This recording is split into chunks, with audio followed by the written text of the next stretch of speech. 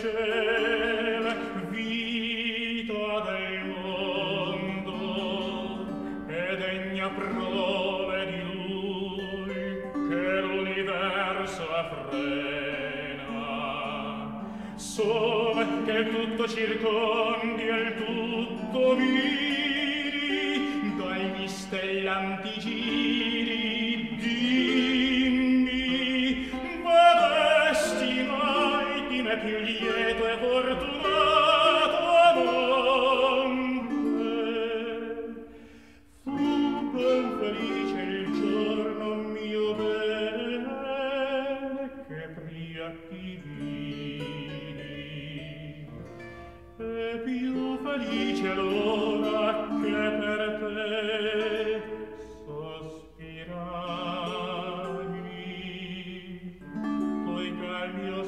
sospirar, tu sospirasti.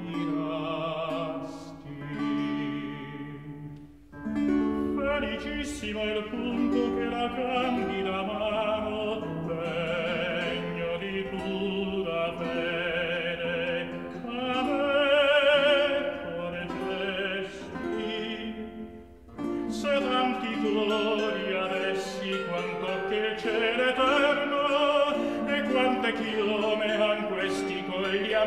verde maggio tutti colmi sarien e traboccanti di quel piacer che oggi